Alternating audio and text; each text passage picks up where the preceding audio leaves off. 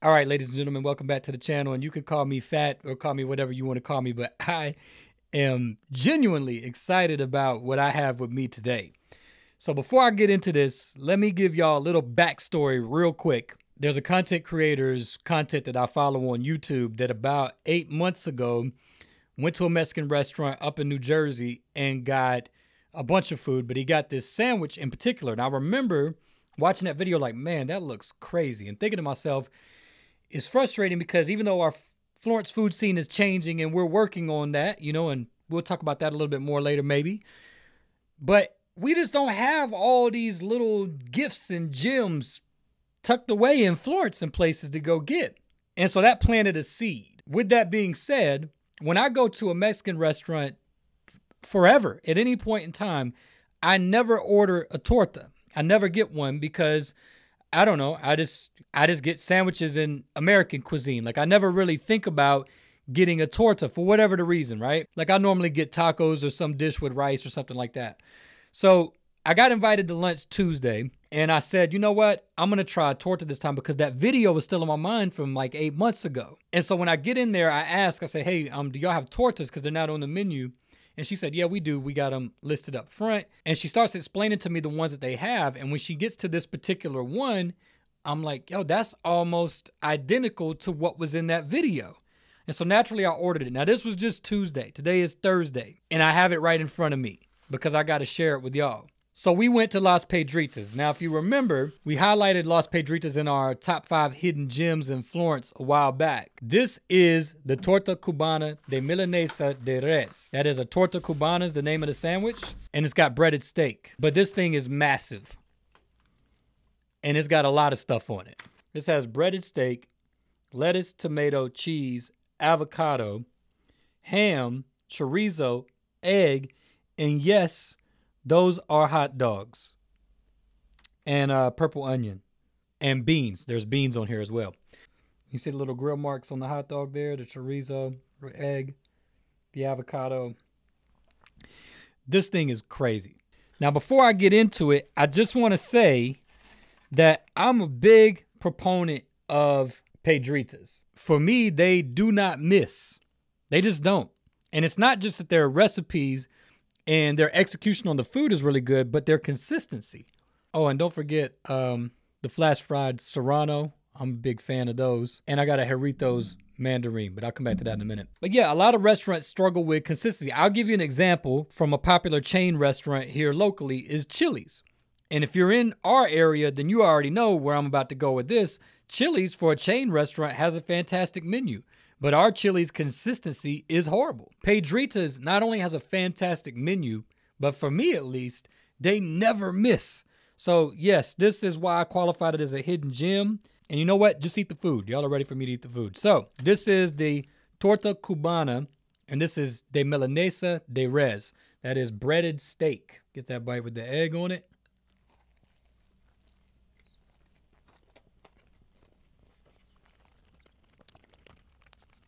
That breaded steak is tender.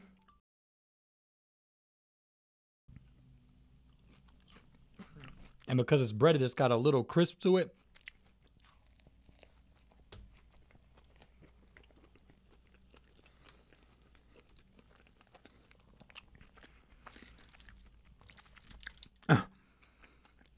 You got the ham, the beans, the eggs, the chorizo, the hot dogs it's like an explosion of flavors. Uh, it's just nuts. I'm telling you, it really is. Now this is the Jarritos mandarin. A lot of the Jarritos flavors are good. The thing I like is they don't use corn syrup. There's just cane sugar. But I always like the mandarin. And Nike put out some like exclusive limited edition Dunk Lows Jarritos. If anybody wants to buy me a pair of those, I'm a size eight and a half, and I greatly would appreciate it. Ah man, this is here. Let's get another bite of this. Let's go from right here from the back. The beans do something to tie it all together, and the cheese on this is grilled. I don't know how they do it. I'm assuming they take it and put the cheese on the bread and then lay it on the flat top and grill it. But the cheese on the bread is actually grilled on there. It's crazy. And then the serrano that they give, I always love these. I mean, this is a whole meal in one sandwich. So, like I said, I just had this Tuesday and I had to go back and get it again to show it to y'all. I would say the one that I had Tuesday was a little bit better, but that's because um, I had to drive this across town. So that one was, I was in the restaurant, so it was fresh, straight from the kitchen to the table. And you can actually see where that cheese is grilled on there. You see that?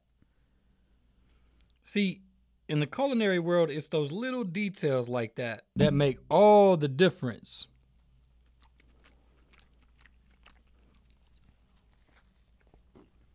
Their salsa verde is excellent.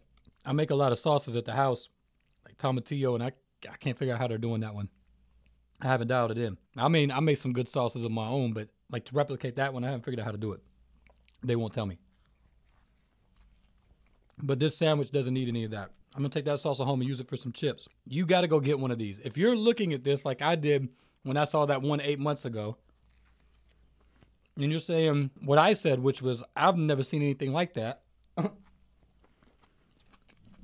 you need to go down to Los Pedritos on Irby Street and check them out. They're right across from Leonard Trucking.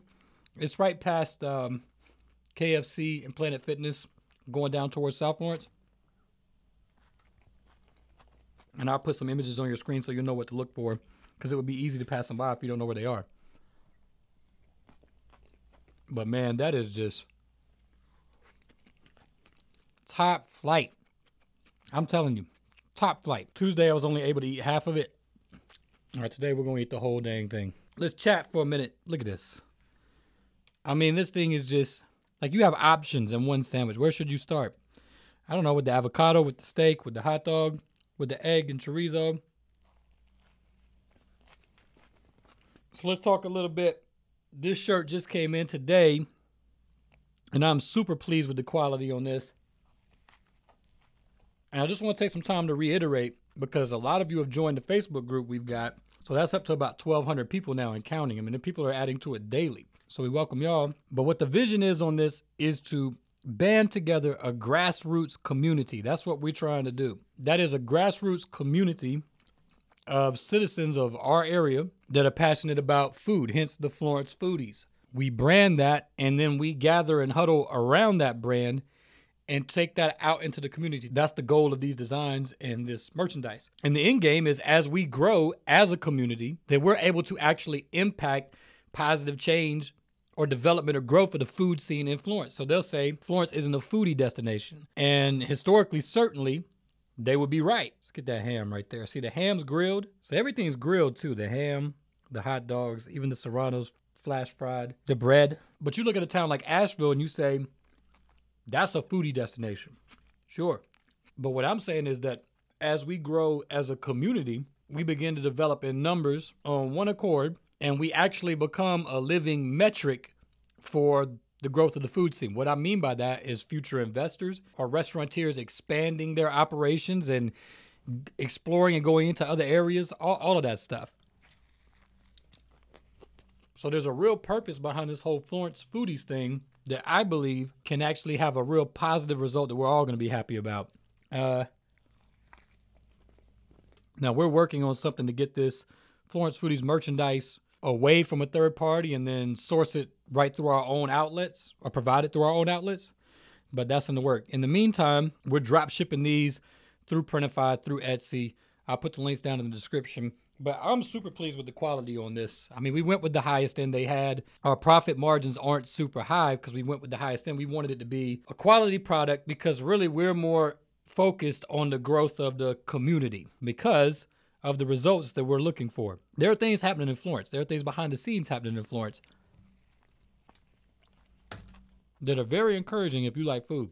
All right, so again, if you go to Pedritas, which you need to go to Pedritas if you like Mexican food and you're in our area, the first thing is you got to follow my pro tip, even from the last video, which is order the pupusa. I get mine with chorizo. I think you can put about whatever you want on there.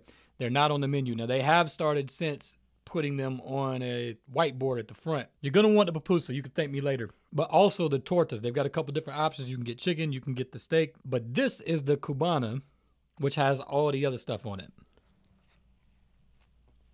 And again, they're on Irby Street, basically across the street from like the Granite store, the pawn shop, that spot right there on Irby. But really, everything I've had from them is good. A lot of times, my wife would get a chicken quesadilla. Everybody's got a chicken quesadilla, right? Even in that, there's the best one that I've had. I mean, it just is what it is. So, cheers to Pedritas. All of their information has been in this video, and I'll put it down in the description so that you can find them and check them out. Uh, I'm certainly a big fan, and if you want to try a unique item that I don't think anybody else is offering in town that I know of, go up there and check out the Torta Cubana. So, fellow foodies from any part of the world that you may be watching, we appreciate y'all. If you enjoyed this video, please give it a like, give it a share. That really helps us out a lot, and we appreciate it. So, yeah, I thoroughly enjoyed that. Uh, I believe that you will too. I appreciate y'all. Y'all take care, and we'll see you on the next video.